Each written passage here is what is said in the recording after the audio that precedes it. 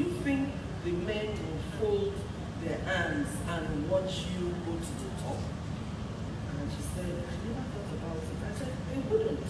So you need to be strong and be ready When uh, was speaking, it's as if she was speaking to me. Um, let me give you my background so that you understand. Uh, I'll start from the last part. It was women that gave me the nun- nudge or the push to be out there, and I will explain later.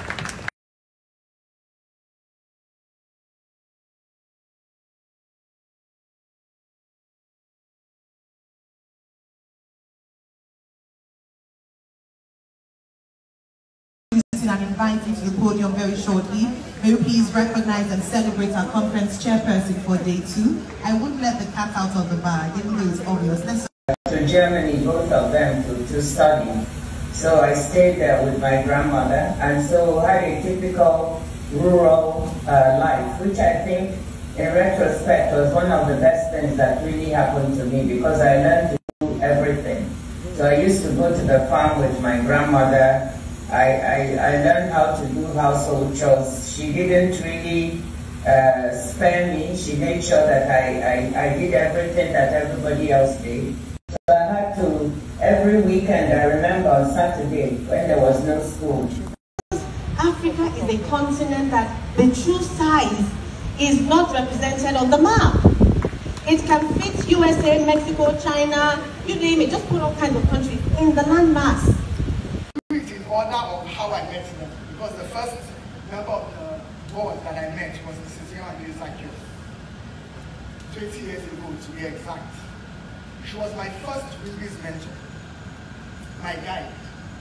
database, which notwithstanding the devastating challenge posed by the COVID-19 pandemic, is still growing. Hello, ladies. I want to give you five very quick tips to utilize being at the Wimbledon conference, which is where I am right now, um, for tomorrow for day two. One, do not sit with your friends. Meet new people.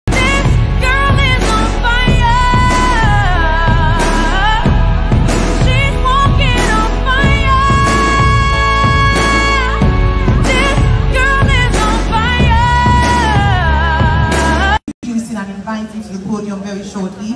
May we please recognize and celebrate our conference chairperson for day two. I wouldn't let the cat out of the bag, even though it's obvious. Let's. The organization has over a thousand associate contributory women in important management, business, and public sector positions, and more than 17,000 women on. Zacchaeus sat with me in the restaurant. I was a young entrepreneur. And she gave me. Unknown to her, we were on the same flight back. And Mrs. Idigbe is very intimidating for those of you that know her. You know, she has a firmness to her. And we were in the, um, what's that, the, the bus that was taking us to the plane. And I kept looking at her. I wanted to walk up to her and introduce myself. But I couldn't, as at that time, until I became executive director. For Mrs. Idigbe,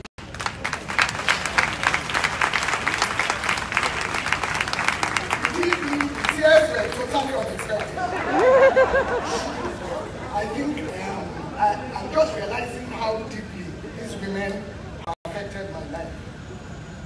Mrs. Idigbe is one of the people that through thick and thin, she will call me, she will scold me, we will listen, and then we will conclude together. Thank you, Mrs. Idigbe. Grow from that and helped us with processes, and I want to say thank you. Dr. Johnson picked up my pieces. She was the first person that told me that it was okay to cry. Uh, at the very first board meeting that I attended when I became executive director, as we, of course, we have a limited number of seats on the table, and so I sat by the side, and Mrs. Desan just turned to me and said, friend, come and take a seat. on the table. You are executive director. Thank you for inviting me to the table, Mrs. Jason. I am very grateful for your bluntness. You are one of the people that is very witty and jovial, and I'm very grateful.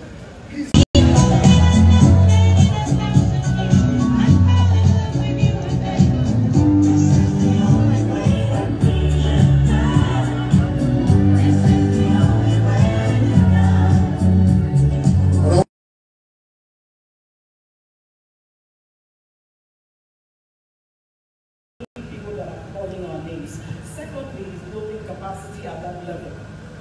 There are phenomenal establishments, organizations that are around to help that journey. Let me first and foremost say we Board.